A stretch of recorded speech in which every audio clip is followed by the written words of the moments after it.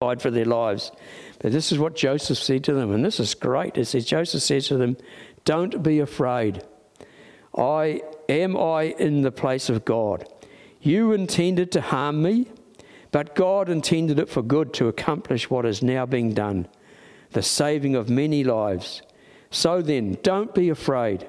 I will provide for you and your children. And he reassured them and spoke kindly to them. And that's our story of Joseph today. And you know, Joseph is a, an incredible illustration of what Jesus Christ is like. Because you know, this is exactly how Jesus has dealt with us. Jesus hasn't dealt with us harshly. It says the wages of sin is death, but the gift of God is eternal life. You know, we deserve death because of our sin, but Jesus Christ has offered us eternal life. And Joseph could have spelt death to his brothers, but he didn't. He offered them he offered them all these blessings, and that's what Jesus does for us. So Joseph's family actually prospered in Egypt while Joseph was still alive. Conclusions from the life of Joseph, we see examples about integrity. Christians should be, have lots of integrity, should do the right things in life, the right things at work. Forgiveness, the guilt, guilt, guilt doesn't go away if it's not dealt with properly. Faith, Grace, free, unmerited favour of God shown towards human mankind. That's what grace is. Joseph showed grace to his brothers. He did what God would have done. So let your hurts go and great. Look, the, the great one of the great things about Joseph that I want us to learn today, that if you've got hurts and grudges in your life, you need to let them go. You know what? They will destroy you. They will drag you down. If you're a man, they'll make you a bitter, grumpy old man. How many men do you see like that? Old people, and they're just grumpy and they've got grudges, and they moan and they groan and they so and say so and so did this to me, and I can't forgive them and I can't get over it. Someone put the chairs differently in the church. I'm, oh, you know, goodness me. Some of the things, the stories are pathetic. But you know, it can grind you up, and you are the loser if you're holding grudges and hanging on to things. Joseph let it go. He said, God, I'll do what you want. Let it go. Let's move on. We've got to learn to do that in our lives. Don't hang on to grudges. Let it go. If you're, if you're in, in a marriage situation, don't hold grudges against your partner. Of course. Gosh, we all annoy each other sometimes, but don't hang on to it. Let it go. Move on. And um, that's what Joseph did. Charles Swindoll, who I read his whole, he's written an amazing book on just on the life of Joseph. Fantastic book.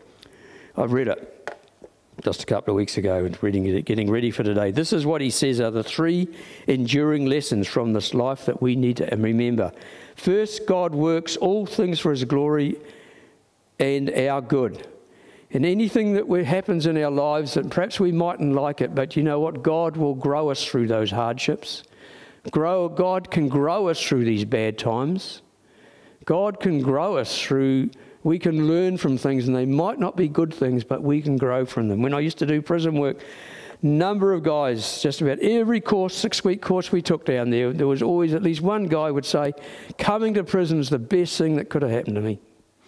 They were bad times for those guys. They were in prison, but they grew through it. They matured, they grew. A lot of them committed their lives to the Lord or recommitted their lives to the Lord. So we need to realize this that all the things that happen in our lives, God goes through those things with us and we can grow from them. The second thing we learn from Joseph, and this is my main point that I want us to learn today, is that Joseph lived his life free of bitterness. And so many people spoil their lives by being bitter. He lived his life free of bitterness despite everything that happened to him and the hard knocks that came his way. And thirdly, as Joseph faced death, he was right with both man and God. He had long ago made peace with his brothers. Joseph knew God as his Lord and Master and had done since he was a teenager. Joseph had the assurance that at death he would be gathered to God's people, he would go to heaven, and in Jesus Christ he will be in heaven now. And my question to you is just as Joseph had a wonderful relationship with his God, I ask each one of us today, how is your relationship with God today? And only you can answer that. So um, that is my message from today. Let's just pray. Lord, today we just want to thank you for this life of Joseph. We thank you that Joseph showed so many of the qualities that you would have us show, Lord. He showed us what Jesus is like and how he loves and forgives and cares. And Lord, and doesn't bear grudges. And Lord, we just pray that you'll help us to, to be to be like you and to be like Joseph, to, to move on from the hurts in our lives. And Lord, today I'd pray for anyone who's going through bad times, just like Joseph went through so many hard times, Lord. And you were with him. And I just pray, Lord, that you will be with each person here today as we live our lives. Thank you now, Lord, and bless us. In Jesus' name I pray. Amen.